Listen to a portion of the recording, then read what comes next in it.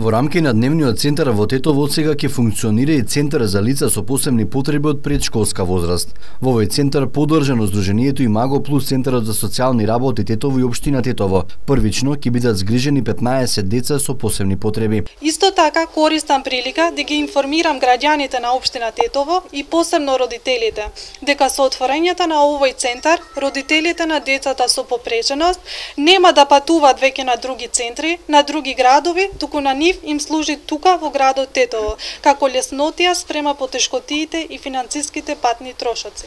Истакна од Имаго Плюс, од општина Тетово и Центарот за социјални работи Тетово, истакна дека инклузијата на сите деца е важна за нивниот нормален развој, затоа нивната поддршка за ваквите проекти е постојана. Ова е можеби мал чекор, но исклучително значаен од аспект на подигање на обшествената свест,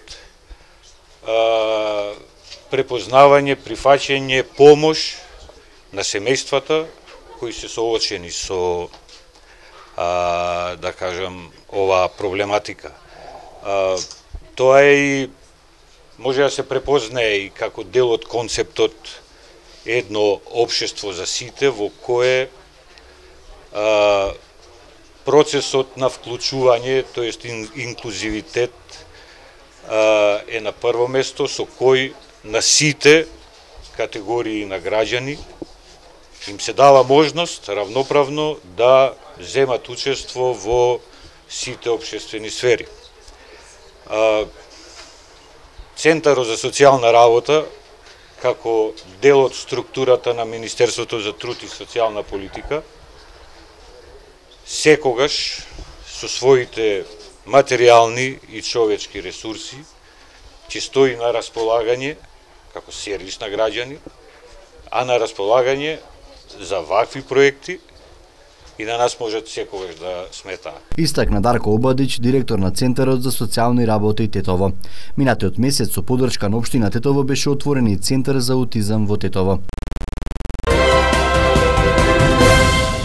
Новата градинка која ќе се гради во дворот на основното училиште Кирил и Методи во Тетово ќе биде со капацитет за 900 деца, рече градоначалничката на Тетово Теута Арифи. Таа истакна дека градинката ќе се гради со европски пари и институциите од Европската унија им одговориле дека проектната документација која ја доставиле ги исполнува условите ова установа да се гради со нивна помош.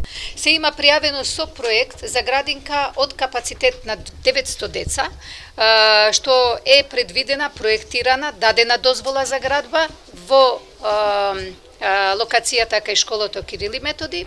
Од нашите контакти со Министерството за труд и социјална политика сме информирани дека истиот проект е испратен до Европската унија, значи за финансирање. Од оперативните контакти на нашите инженери со инженерите на Канцеларијата за Европска унија, фактички е договорено и е кажано дека нема проблеми како проект и како таков многу брзо ќе влезе во процедура за јавна набава ставка, што значи дека во една иднина треба да очекуваме и реализација на истиот истакна граначалничката на Тетово Теута Арифи. Арифи додаде дека општината работи на отворање на центри за ран детски развој руралните места, кои потоа треба да се пренаменати во градинки, откако општините затоа ќе поднесат барање. Од Министерството за труд и социјална политика ги повикаа сите заинтересирани општини да го направат овој чекор со цел да добијат градинки и да не мора деца до руралните средини да се носат во градовите ние одговараме на доставен елаборат.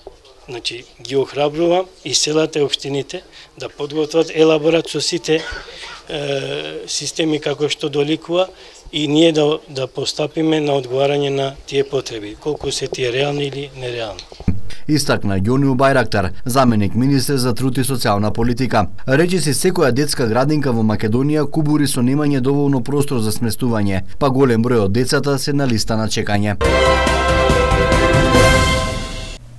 Обштинската организација на СДСМ во Гостивар на пресконференција го представи новиот систем на плати за вработените во детските градинки, со кој платите ќе достигнат зголемување од 21%. Кадарот во градинките, заслужен за грижата на нашите деца, кои се иднината на нашата држава, добија драстично зголемување на платите. Почнувајќи од јунската плата, која што на поголемиот дел од вработените – веќе им е исплатена, Стручниот кадар доби зголемување во просек од 16%, што е околу 3000 денари во нето износ по вработен. Во септември годинава вработените во детската заштита ќе добијат и уште едно зголемување од 5%. Со тоа, вработените во детските градинки во Република Северна Македонија добиваат покачување на платите за 21%, кое што е најголемо до сега. Дамјановска нагласи дека со зголемувањето на платите се офатени воспитувачи, негователи, стручни работници и стручни соработници, педагог, психолог, логопед, дефектолог и дека истовремено се зголемуваат и платите на помошно-техничкиот персонал во градинките, кое покачување е утврдено со колективниот договор. Во детските градинки во Гостивар има вкупно 97 вработени, од кои 77 се стручен кадар и 20 технички персонал.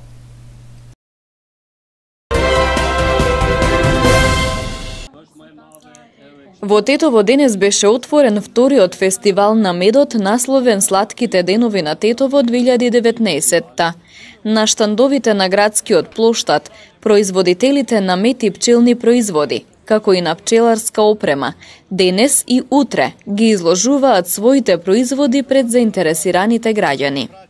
Значи, денешната активност, Сладките денови на Тетово, така е именуван, е, како што знаете, веќе втора година се реализира. Се гледа дека имаме напредок токму во тој процес на реализација. Сакам да се заблагодарам на иницијативата, значи на Сдруженијето, водено од господинот Дикена, затоа што мислам дека со нивната иницијатива нас ни беше многу полесно и по импресивно да можеме да, да, ја, да ја поддржиме како таква. денеска гледаме дека имаме многу пчелари од целата наша земја и со тоа мислам дека и ке се мотивираат, но исто така една голема можност и своите продукти да ги продаваат, имајќи го предвид фактот дека имаме повеќе население во градот отколку на пример другите месеци во годината. Многу ми е мило што годинава по втори пат се организира фестивалот на медот Сладките денови во Тетово. Еден фестивал што целта е промоција на пчелата, медот и производите од мед. Иницијатива што од почеток беше поддржана од Обштина Тетово и Министерство за земјоделство. Ако правиме некоја статистика од првиот фестивал и вториот, гледаме дека овој пат многу сме се растени, тоа ни тоа ни докажува дека Тетово има потреба за вакви иницијативи, но на другата страна обврска да бидеме посериозни и и по поуспешни во наредните организации. Колку учесници има и од каде се? Учесниците тоа го фаќа целата географија на Македонија, Тетово, Гостивар, Охрид, Неготино, Пекшево, Скопје, Прилеп, Битол, Куманово, Свети Николе. Производителите на метод Полошко кои ги изложија производите на вториот поред фестивал на медот во Тетово се надеваат дека саемот ќе прерасне во традиционален, бидејќи представува одлична можност за промоција на медот. Јас сум Владимир Рантовски од село Жилчино, кој пчелар, па веќе со подолго годишно искуство. Значи ова е добар саем да речем за нас пчеларите од, од пред се од Тетовскиот регион, да ги промовираме нашите производи, како што гледате. Она што го работиме цела година, да го промовираме на еден начин, да, го, да биде достапно до, до граѓаните, до оние кои што не не знаат, да ги покажеме производите кои што, кои што ги нудиме. И пред све да се дружиме, да се да се најдеме на овој, на овој штант, Инаку манифестацијата е добро организирана. Оваа година имаме а, излагачи од другите места. Ланската година, кога прва година имаше само излагу, изложувачи од Тетовскиот регион, сега има и од пошироко од целата држава. Особено интересно за посетителите на плоштадот беше биомедот, кој всушност е мед добиен на нестандарден начин, односно од дрва и карпи во недопрени предели. Јас сум Сених Браховик, а денес презентирам презентира мед од карпа, од карпа, од дрво, од глинана земја. Овој мед е специфичен затоа што е што е биомед. Овој мед е од разни планини, разни чисти околини, по 30-40 км во планина. И медот е чист мед, произведен од пчела и сакето е био, и поленот е био, и делови на прополис што има од страна, све е био, значи све е од од чиста природа и од чиста околина. Во местата кај што го вадиме медот, претежно идат само ловџи и некои чобани што чуваат крави и овци. Значи околината е чиста и овој мед и оваа саке, сакето, поленот, све комплетно се јаде и затоа што е многу здраво. И самиот самото саке еден еден сот, еден со да се произведе пчелата да го произведе и треба 5-6 кила мед. 5-6 кила мед да го излачи сатната основа. Затоа е многу здрава оваа сатна основа. Јас сум можеби единствениот во Македонија што работи со биомед, што иде низ Македонија да го собира. Во рамките на годинешното издание на манифестацијата Фестивал на медот се одржа и предавање во салата на Обштина Тетово.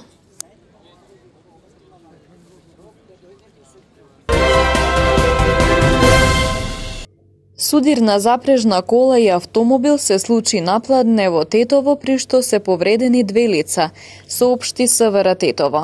До судирот дошло на самиот влез во Тетово, кај подвозникот пред почетокот на булеварот Илирија. Патничкото моторно возило Пасат со тетовски таблици го управувал ХК роден 1988 од Шипковица, додека запрежната кола со коњи ја управувал лице со иницијали НХ од Тетово. Двајцата се полесно повредени, но веднаш се однесени во Тетовската болница за да добијат лекарска помош. Веднаш по судирот е започнат увид со цел да се утврдат деталите за инцидентот, изјави Маријан Јосифовски, портпарол на СВР Тетово. Приведени две лица во два одделни случаи поради физички напад, односно навреда врз полициски службеници. 40 годишник од гостиварското село Добридол бил лишен од слобода вчера околу 14 часот и 30 минути, зашто непосредно пред тоа физички нападнал полицаец кој преземал службени действија. На улица Мајор Чеде Филиповски во Гостивар вчера околу 11 часот и 50 минути бил приведен и 48 годишник од гостиварското село Вруток кој ги навредувал и омаловажувал полициските службеници додека преземале службени действија. Во двата случаи по целосното расчистување и документирање против лицата ќе следува соодветен поднесок. Во притвор вчера завршил и 60 годишен тетовец кој предходно физички го нападнал неговиот роднина на возраст од 32 години исто така од Тетово. Тој е задржан во полициската станица Тетово за целосно расчистување и документирање на случајот. 43 годишна тетовка пак вчера пријавила дека пред неколку месеци била измамена од 32 годишник, кој ветил дека ќе ја помогне да се вработи и на кого му дала 1000 евра и повеќе документи. Се преземаат мерки за расчистување на случајот. Од СВР Тетово информираат дека во вчерашните засилени контролни активности, реализирани на поширокото тетовско подрачје, Вкупно откриени и законски санкционирани се 65 различни видови сообраќајни прекршоци. Најбројни меѓу нив повторно се неприлагодена брзина, односно пребрзо возење, 17, непрописно паркирање 10, истечена регистрација 4, управување без собраќајна дозвола 4, возач почетник 4 прекршоци и други. Вечерашни Под мотото Новите звезди доаѓаат вчера вечер на градскиот плоштад во Гостивар се одржа мултиетнички концерт на кој настапија десетина млади гостиварци. Целта е да се промовираат младите музички таленти, да се даде поддршка на нивната работа и труд, а истовремено преку музиката и дружењето да се покаже заедништвото и соживотот со кој што Гостивар може да се гордее, беше речено на концертот. Настанот го организираше Советот на млади и Младинскиот клуб на турци со подршка на Обштина Гостивар.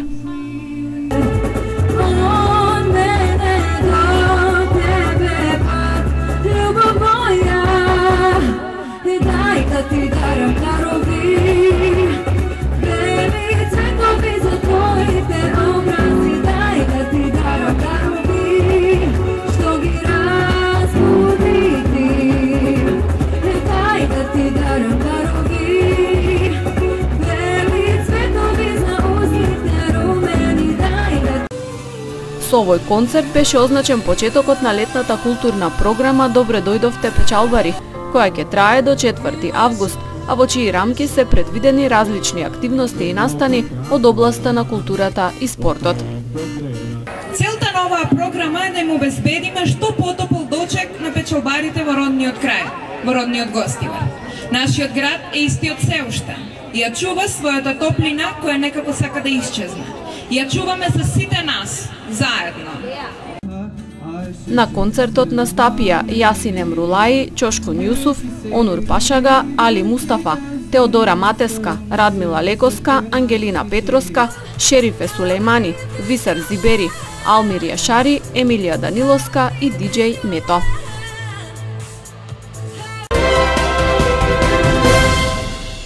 По повод патрониот празник Свети Архангел Гаврил на 26 јули ден петок во истомената црква во Тумчевиште во 9 часот и 30 минути ќе се отслужи света архиереска литургија, пошто ќе бидат прережани седумте кумски колачи, ќе се одредат и нови кумови, а ќе се приради братско-сестринска трпеза на љубовта. Ќе има и музика во живо со групата Индекси. Се покануваат сите православни верници да присуствуваат на оваа свеченост.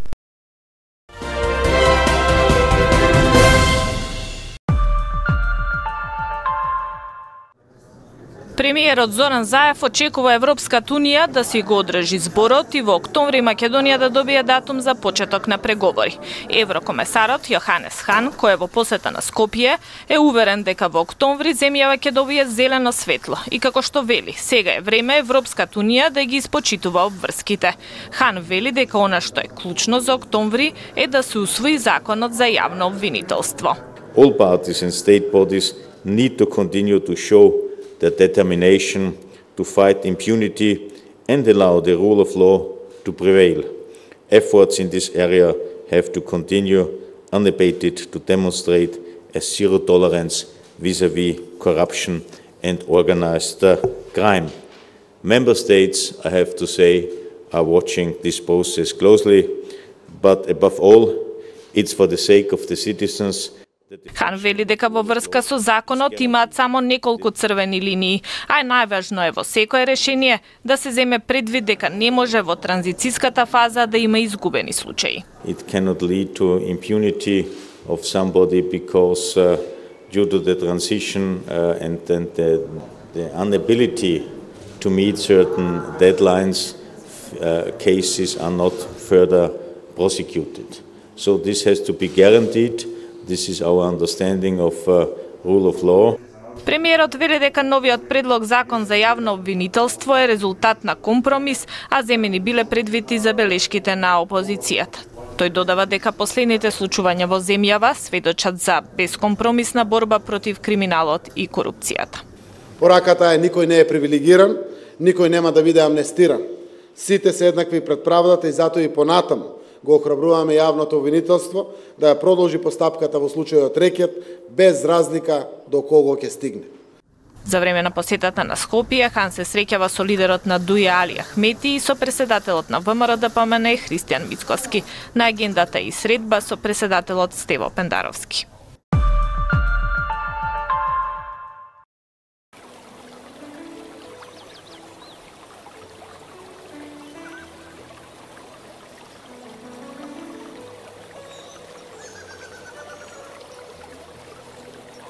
Времето денес беше сончево со мала до умерена локална облачност. Дуваше слаб до умерен ветер претежно од северен правец. Температурите се движеа во интервал од 15 до 32 степени Целзиусови. Вредноста на УВ индексот изнесуваше 9.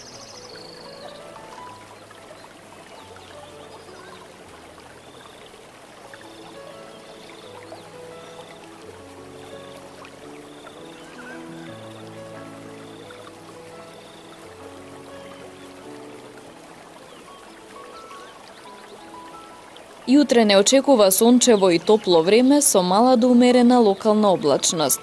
Температурите ќе се движат во интервал од 17 до 35 степени Целзиусови. Вредноста на УВ индексот ќе изнесува 9.